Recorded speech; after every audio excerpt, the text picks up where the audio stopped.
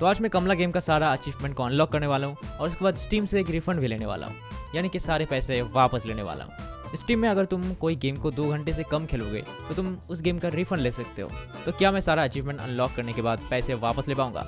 शुरू करते हैं। तो फ़र्स्ट जो अचीवमेंट है, इसका नाम है लोअर मास्टर यार, इसमें मुझे जितने सारे नोट्स है इस गेम में, सबको पढ़ना होता है। गेम के शुरू में एक नोट है, जो यूजुअली बहुत सारे लोग मिस कर देते हैं, ये वाला नोट ये अगर पढ़ लूँगा तो बाकी नोट तो ईजिली मिल ही जाएँगे। यहाँ पर एक ही रन में मैं तीन अचीवमेंट ट्रिगर करने वाला हूँ। एक तो ये हो गया लोअर मास्टर उसके बाद एक है द कलेक्टर इसका मतलब सारा पुतलों को मैं कलेक्ट करूँगा। एंड डेथ डिफायर इसका मतलब ना मर के मुझे कमला गेम को कंप्लीट करना होगा। तो यहाँ पर मैं गेम को भी कंप्लीट करूँगा और पुतले को भी कलेक्ट करूँगा। यहाँ से मुझे एक पुतला मिला है। एंड नेक्स्ट जो नोट है, वो मिलता है मुझे इस वाले रूम पे। यहाँ पर आना है और बाथरूम के अंदर जाना है, तब मुझे मिलेगा वो वाला नोट ये सेकेंड नोट मैंने यहाँ से पढ़ लिया है। बाथरूम में वैसे भी कुछ है नहीं तो इस घर के मेन हॉल में आ जाता हूँ और यहाँ पर भी ढूँढने की कोशिश करता हूँ। यहाँ पर मिलता है मुझे तीसरा नोट। और एक पुतला है जो इसमें मिलता है। इन पुतलों का और जो नोट्स का लोकेशन है, वो एकदम सेम रहता है। हर वक्त एक ही जगह पे स्पॉन होता है, दूसरी जगह पे स्पॉन नहीं होता है। और एक नोट मुझे मिलता है यहाँ पर। इसको भी पढ़ लेता हूँ। सॉल्ट को मैं अभी प्लेस नहीं करूँगा, क्योंकि पहले मुझे पुतलों को और जो नोट्स है, उनको कलेक्ट करना होगा। उसके बाद मैं सॉल्ट को प्लेस करके गेम को कंप्लीट करने के बारे में सोचूँगा। इस वाले नोट पर मुझे और एक पुतला मिलेगा, कोने में जाके। यह मिल चुका है। तीन पुतले मिल चुके हैं और चाहिए मुझे पाँच। यहाँ पर इस वाले बक्से में कुछ भी नहीं मिलता है, लेकिन नोट यहाँ पर एक मिल जाता है। अब मुझे इस रूम पे घुसना होगा। इस रूम पे दरवाजे के पीछे है एक पुतला, जिसको मैं ले लेता हूँ।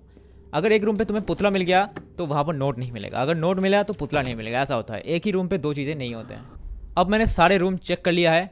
अब और कहीं पर भी मुझे पुतले और नोट्स नहीं मिलेंगे।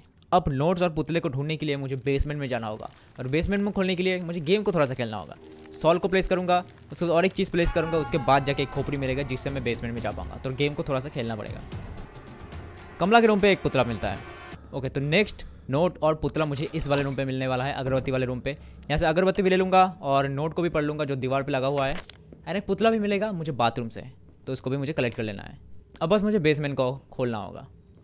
अब इस कलश को प्लेस करने के बाद मुझे खोपड़ी मिलेगा जिससे मैं बेसमेंट को खोल पाऊँगा। खोपड़ी को यहाँ पर लगा देना है एंड खुल जाएगा मेरे लिए ये वाला जगह। यहाँ से कपूर को ले लूँगा।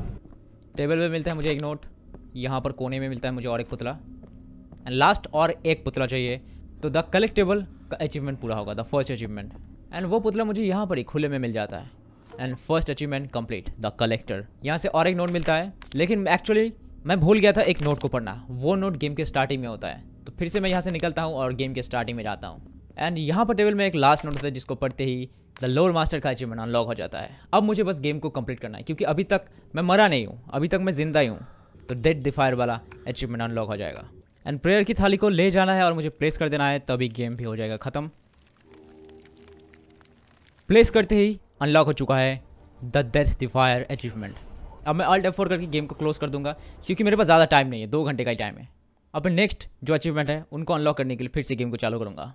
तो इस रन पे मैं कुछ और ट्राई नहीं करूँगा, बस एक ही अचीवमेंट को अचीव करने की कोशिश करूँगा, वो है the perfect ritual one of the hardest achievement इस रन पे टाइम का कोई लिमिट नहीं है तो मैं आराम से हर एक रूम को चेक करता हूँ, कहाँ पर सॉल्ट कहाँ पर चाबी है, हर चीज़ को मैं पहले ढूंढता हूँ, उसके बाद एक एक करके चीज़ों को प्लेस करता हूँ. सॉल्ट तो मुझे मिल चुका है, लेकिन अभी तक मुझे डोर की की नहीं मिली है. डोर की की नहीं मिली, लेकिन मैं यहाँ पर सॉल्ट को प्लेस करूँगा प्लेस करके यहाँ से निकल जाऊँगा. अब बस मुझे कमला से सतर्क रहना होगा, क्योंकि कमला अगर मेरे सामने आ गई, बस एक बार मुझे स्पॉट कर लिया तो ये वाला अचीवमेंट बेकार हो जाएगा। यूजली गेम को कंप्लीट करने का स्ट्रैटेजी पहले जैसा है, अगर तुमने मेरा कोई स्पीडन देखा होगा तो सेम ही स्ट्रैटेजी मैं यूज़ कर रहा हूँ। यहाँ पर पुतले को लेकर कमला के रूम पे घुसता हूँ पैटर्न देखता हूँ और यहाँ से निकल भी जाता हूँ। क्योंकि नया कुछ मुझे यहाँ पर ट्राई करने की बिल्कुल भी ज़रूरत नहीं है, क्योंकि टाइम लिमिट है। दो घंटे के अंदर मुझे सारे अचीवमेंट को कंप्लीट करना होगा और रिफंड भी लेना होगा। जल्दी से कर देते इसको प्लेस प्लेस करने के बाद मैं जल्दी से भाग भी जाऊँगा।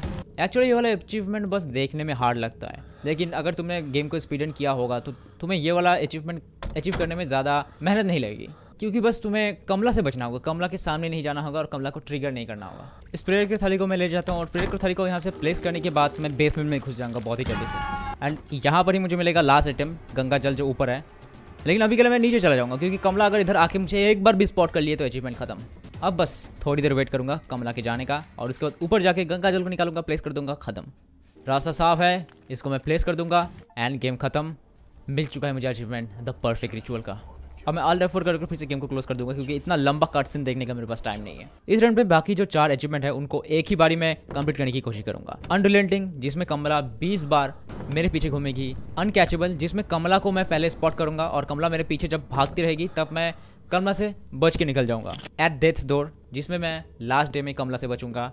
एंड द ऑल नोइंग ये मुझे लगता है सबसे मुश्किल अचीवमेंट है क्योंकि यहाँ पर मुझे तुक्का मारना होता है हाथी वाले पजल को जिसको मैंने बहुत देर तक ट्राई किया बहुत सारा तुक्का मारा। मैंने चैट जीबी से पूछा था कि इन चार कॉम्बिनेशन से कितने सारे कॉम्बिनेशन बनाया जा सकता है? उसने तो मुझे बहुत सारा कॉम्बिनेशन दिया। अगर इतने सारे कॉम्बिनेशन एक एक करके मैं लगाऊँ तो घंटों लग जाएँगे। तो तुक्के से कुछ कॉम्बिनेशन करने की कोशिश किया जिसमें ये वाला अचीवमेंट अनलॉक हुआ नहीं तो इसको मैं साइड में रख देता हूँ और बाकी तीन अचीवमेंट को कंप्लीट करने के लिए आगे जाता हूँ। लास्ट डे में अगर मुझे कमला को कंप्लीट करना है तो जितने सारे आइटम्स हैं वो पहले मैं सबमिट नहीं कर सकता।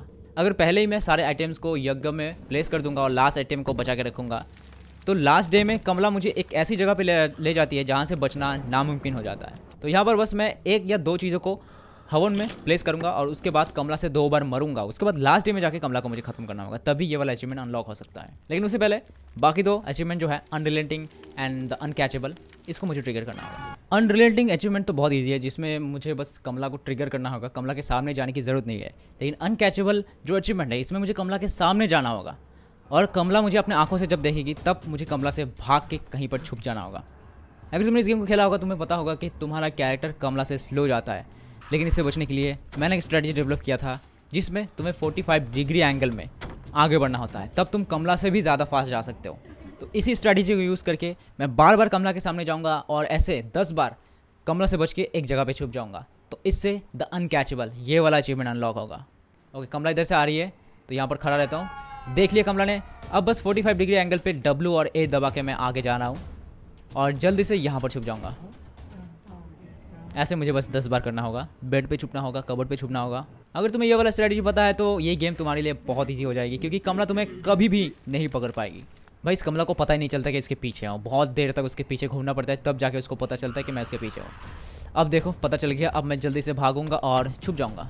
एंड यहाँ पर घुसते ही अचीवमेंट अनलॉक्ड द अनकैचेबल अब बस मुझे कमला से लास्ट टाइम मरना होगा तो अनलेंडिंग वाला अचीवमेंट भी अनलॉक हो जाएगा। एंड ये अनलॉक हो चुका है। मैं यहाँ पर एक गलती कर देता हूँ। मुझे लास्ट डे में गेम को कंप्लीट करना था। पता नहीं कैसे भूल गया कि ये लास्ट डे नहीं सेकंड डे है। और सेकंड डे में गेम को कंप्लीट कर देता हूँ और उसके बाद मैं सोचता हूँ कि ये अचीवमेंट अनलॉक क्यों नहीं हो रहा? इतना मेहनत करने के बाद लास्ट में ये वाला आइटम प्लेस कर देता हूँ। इसी एक्सपेक्टेशन से कि अचीवमेंट कंप्लीट हो जाएगा। लेकिन अचीवमेंट कंप्लीट होने का पॉपअप आता ही नहीं है। तब मैं याद करता हूँ कि ये सेकंड डे था लास्ट डे नहीं। एंड पहले की तरह फिर से मुझे गंगा जल को यहाँ पर प्लेस करना होगा, जिससे कि ये वाला अचीवमेंट अनलॉक हो जाएगा। एट दैट स्टोर एंड सारे अचीवमेंट खत्म। बस एक अचीवमेंट को छोड़ के, क्योंकि वो अचीवमेंट ऐसा अचीवमेंट है जो दो घंटे के अंदर नहीं हो सकता, और तुक्का मार के तो मुझसे हुआ नहीं। Bye bye Kamla. एक घंटे के अंदर सारे अचीवमेंट कंप्लीट कर दिया। ओके अब बस मेरे पास एक ही चीज़ करना बाकी है, वो है रिफंड के लिए रिक्वेस्ट करना।